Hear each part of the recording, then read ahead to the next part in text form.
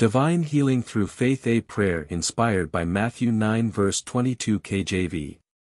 Heavenly Father. As we gather before your throne of grace, we come with hearts full of awe and reverence.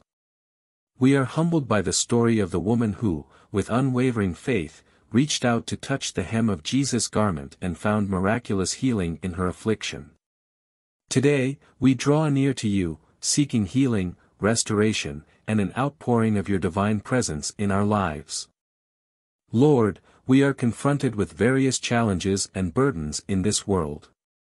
Just as that brave woman experienced physical healing through her faith, we too yearn for healing in our bodies, minds, and spirits.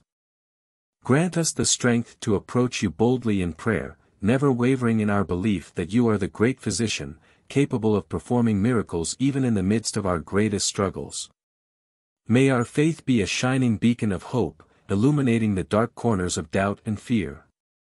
Lord, we also pray for a deeper understanding of your profound compassion.